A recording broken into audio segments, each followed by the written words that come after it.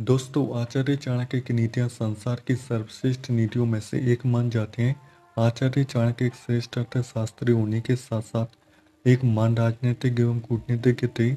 उनके द्वारा बताई गई चाणक्य नीति को सीखने से आप जीवन किसी भी समस्या को आसानी से सुलझा सकते हैं। साथ ही साथ, चाणक्य नीति का ज्ञान आपके लक्ष्य को पूरा करने में सहायक सिद्ध हो सकता है। दोस्तों, यदि आप किसी से प्यार करते हैं, आपका प्यार आपसे रूट गया है, आपसे बातें नहीं करना चाहता आप अपने रूटे प्यार को मनाना चाहते हैं, चाहे वह पुरुष हो या महिला हो, आपका प्यार आपसे रूट गया है, वह आपसे बातें नहीं करना चाहता तो आप इस उपाय को कर दीजिए जैसे करने के बाद आपका रूटा प्यार खुद आपके पास आएगा, आपसे बातें करना चाहेगा, वह हमेशा हमेशा के लिए आपके पास आ जाएगा, आपसे बातें करना चाहेगा।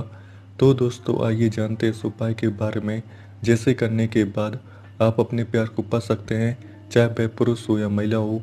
आप अपने रूटे प्यार को मना सकते हैं। दोस्तों, ये आपको रात के समय में करना है जहाँ आप सोते हैं, वहीं पे आपको पूरब दिशा की ओर मुँह करके आपको बैठ जाना है। फिर आपको इस मंत्र का जाप करना है। दोस्तों, मंत्र है, ओम नमः शिवाय त्रि त्रि स्वाहा ओम नमः शिवाय त्रि त्रि स्वाहा इक्कीस बार आपको इस मंत्र का जाप करना है और इक्कीस बार आपको अपने प्यार का नाम लेना है। उस पुरुष या महिला का नाम लेना है, जिसे आप पाना चाहते हैं जिससे आप प्यार करते हैं।